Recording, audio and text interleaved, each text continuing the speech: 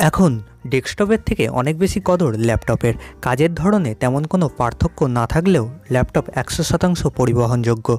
যে সুবিধা ডেস্কটপের ক্ষেত্রে পাওয়া কল্পনা ছাড়া আর অন্য কিছুই নয়।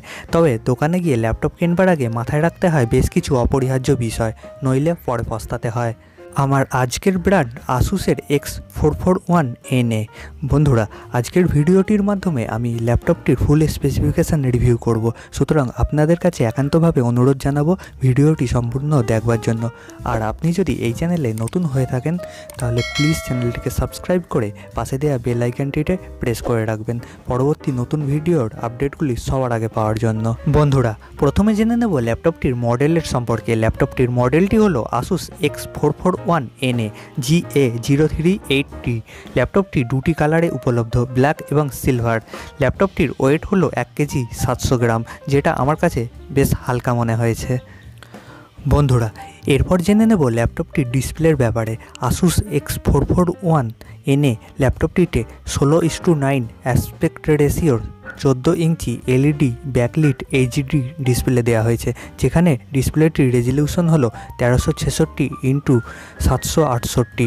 ল্যাপটপটিতে নেটওয়ার্কিং হিসেবে ওয়াইফাই এবং in Bluetooth V four point zero দেওয়া আছে। এবারে যে ফিচার্সটির উপর কথা বলব, সেটি হলো ল্যাপটপটির প্রসেসর। ল্যাপটপটিতে প্রসেসর হিসেবে ব্যবহার করা হয়েছে Intel Celeron M three four five zero যার ক্লক স্পিড হলো one point one zero gigahertz থেকে টু পয়েন্ট টু গিগাহার্জ ল্যাপটপটির প্রসেসরটি আমার কাছে মোটামুটি মানের মনে হয়েছে। হাই গ্রাফিক্সের গেমগুলি ফুল এইচডি মোডে খেলবার জন্য খুব একটা ভালো পারফর্ম আশা করা যায় না।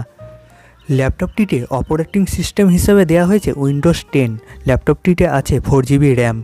যদি ল্যাপটপটির হার্ড ডিস্কের কথা বলা হয়, হার্ড ডিস্ক হিসেবে পাঁচশো জিবি ও পাঁচ হাজার চারশো আরপিএম সমৃদ্ধ হার্ড ডিস্ক ব্যবহার করা হয়েছে। বন্ধুরা, এবার জেনে নেব ল্যাপটপটির অন্যান্য ফিচারগুলি সম্পর্কে। ল্যাপটপটিতে কিবোর্ড হিসেবে ব্যবহৃত হয়েছে চিকলেট কিবোর্ড যেটা আমার বেশ পছন্দের একটি কিবোর্ড তাছাড়া মাল্টি ফরম্যাট কার্ড রিডার এবং একটি ভিজিএ ওয়েব ক্যামেরা দেওয়া হয়েছে, তবে ওয়েব ক্যামেরাটির কোয়ালিটি খুব বেশি ভালো না। এবার একটি গুরুত্বপূর্ণ ফিচারের সম্পর্কে কথা বলব, এবং সেটি হলো এর ব্যাটারি। ল্যাপটপটিতে থ্রি সেলের একটি ব্যাটারি দেওয়া হয়েছে, যেটি পাওয়ার ব্যাকআপ দেবে চার থেকে পাঁচ ঘণ্টা।